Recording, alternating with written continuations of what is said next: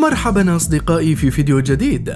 هل تعتقد أن الحياة في أستراليا تعني فقط قضاء الوقت في شرب الجعة تحت أشعة الشمس وممارسة رياضة التزلج على الأمواج بعد انتهاء ساعات العمل؟ لعلك ستفاجأ إذا علمت أن ذلك ليس صحيحا. واليوم سنعرض لكم الكثير من التفاصيل عن أستراليا. لذا تابع الفيديو إلى النهاية ولا تنسى أن تكتب لنا في التعليقات رأيك في الفيديو والاشتراك في القناة. مرحبا بكم أعزائي متابعي قناة هل تعلم في كل مكان. أسماك القرش تغزو بحيرة ملعب الجولف الأسترالي. هل ظننت أنه في الرسوم الكاريكاتورية فقط سيكون هناك بحيرة موبوءة بأسماك القرش في مكان هادئ مثل ملعب الجولف؟ ولكن من الواضح أن هذا واقع في أستراليا. بعد فيضان منذ عدة سنوات وجدت حفنة من أسماك القرش نفسها عالقة في بحيرة في ملعب للجولف أسماك القرش قادرة على البقاء على قيد الحياة في المياه العذبة. وبدلا من أن تشكل هذه البحيرة مشكلة للبقاء على قيد الحياة فقد ازدهرت أسماك القرش الستة وبدأت في التكاثر. أسماك قرش الثور قادرة على البقاء على قيد الحياة في المياه المالحة والعذبة. ومن المعروف أنها تسبح بعيدا في الأنهار وتتسكع لأشهر وحتى سنوات ولكن العيش في البحيرات أمر نادر جدا. الشفق القطبي. انتشر بشكل كبير على مواقع التواصل الاجتماعي مقطع فيديو لأروع لقطات تظهر في السماء على الإطلاق أثناء حدوث ظاهرة الشفق والتي تعتبر ظاهرة نادرة. وتم التقاط عرض مذهل لأضواء ملونة زاهية تضيء سماء أستراليا الجنوبية وبالتحديد في سماء مدينة هوبارد عاصمة ولاية تسمانيا. ويذكر أن ظاهرة الشفق القطبي عبارة عن مزيج من الألوان الخلابة التي تتشكل على القطبين الشمالي والجنوبي للكرة الأرضية. وتعرف أيضا هذه الظاهرة بالأسماء التالية الفجر القطبي أو الأضواء القطبية وهو من الظواهر الجميلة. طيور تتسبب في حرائق الغابات.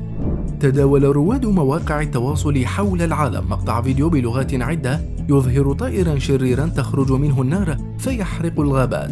وزعم عدد كبير من ناشري المقطع أن طائر الحدأ هو مسؤول عن حرائق الغابات في أستراليا. وقد قال بعض المتخصصين إنه صحيح أن بعض أنواع الطيور تنقل العيدان المشتعلة من مكان لآخر فتساهم في توسع حرائق الغابات. لكن لا يوجد طائر تنبعث منه النيران وفقا للخبراء. الفيديو يظهر ما يبدو أنه طائر يمشي على أرض عشبية وينبعث منه نار ودخان ثم مشاهد متفرقة لغابات تحترق. وجاء في التعليقات المرافقة تعرف على طائر الحداء الذي يشعل النار في غابات أستراليا. وحصد هذا الفيديو عشرات آلاف المشاهدات على مواقع التواصل بلغات عدة حول العالم منها العربية والإنجليزية. غزو الرغوة. ظاهرة غريبة بمنطقة جولد كوست الأسترالية بعد عواصف وأمطار غزيرة شهدتها المنطقة. تشكلت رغوة غريبة الشكل حيث حملتها مياه البحر إلى الشاطئ وامتد الأمر إلى خارج الشاطئ واكتسح المدينة بالكامل حيث تحولت منطقة جولد كوست في شهر يناير الماضي إلى بحر من الرغوة بسبب تدفق زبد البحر بكميات كبيرة إلى الشوارع وخرج السكان للهو والتقاط الصور.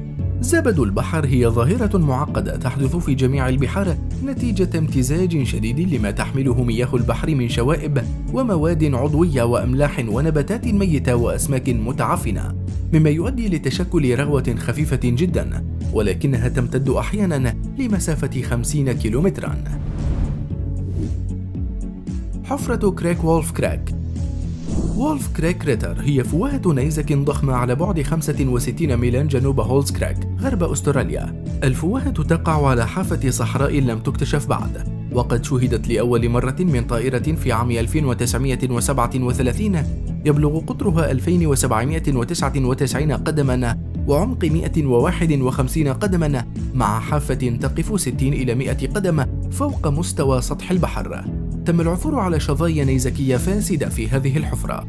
تشير دراسة جديدة إلى أن حفرة وولف كريك الواقعة على حافة الصحراء الرملية الكبرى في شمال غرب أستراليا هي أصغر بكثير مما كان يعتقد سابقا وتعتبر هي ثاني أكبر فوهة بركان على وجه الأرض تم استرداد شظايا النيزك منها. وأكبر حفرة تم استرداد الشظايا منها هي حفرة النيزك في ولاية أريزونا. يعتقد الجيولوجيون أن وولف كريك كريتر تشكلت نتيجة اصطدام نيزك كان قطره حوالي 50 قدما ووزنه حوالي 15 ألف طن. لكن بالضبط متى وقع غير معروف بشكل دقيق؟ وتشير التقديرات السابقة إلى أن الحفرة قد يكون عمرها أكثر من 300 ألف عام لكن دراسة جديدة تؤكد أنها تكونت منذ فقط 120 ألف عام. طيور البطريق الصغيرة في أستراليا. تعد جزيرة ماكاري الصغيرة التي تبعد نحو 1450 كيلومترا جنوب أستراليا معلما سياحيا يجذب الزوار إذ يقطنها أكثر من أربعة ملايين طائر من طيور البطريق وأكثر من عشرة آلاف من حيوان عجل البحر بالإضافة إلى طبيعتها الخضراء الساحرة. إن طيور البطريق فرت إلى هذه الجزيرة بحثا عن ملاذ آمن يحميها من تهديدات البشر الذين يحاولون اصطيادها للحصول على فرائها ودهنها. ويأتي الزوار من كافة أنحاء العالم لزيارة هذه الجزيرة غير المأهولة بالبشر عبر قوارب موسمية للاستمتاع برؤية أنواع وأحجام مختلفة من طيور البطريق.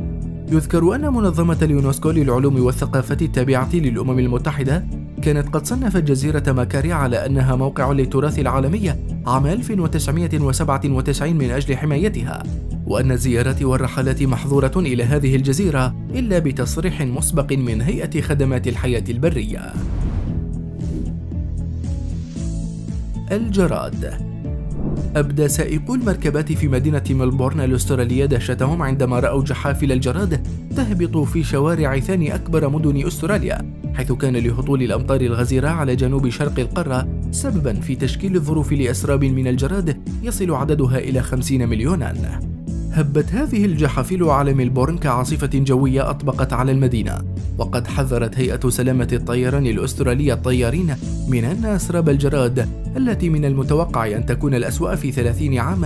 قد تجعل الطيران محفوفا بالمخاطر فيما اعتبرت السلطات أن هذه الأسراب قادرة على إتلاف المحاصيل مما يهدد بموسم جفاف.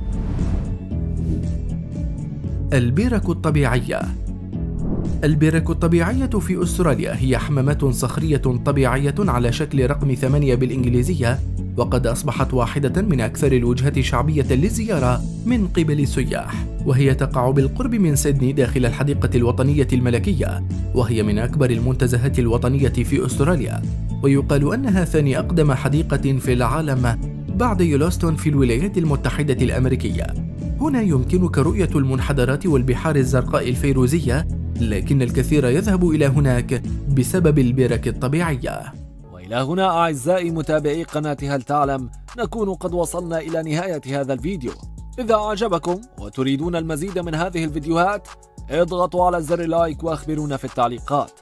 ولا تنسوا اشتركوا في القناة وفعلوا زر الجرس لتكونوا أول من يتوصل بالفيديو القادم.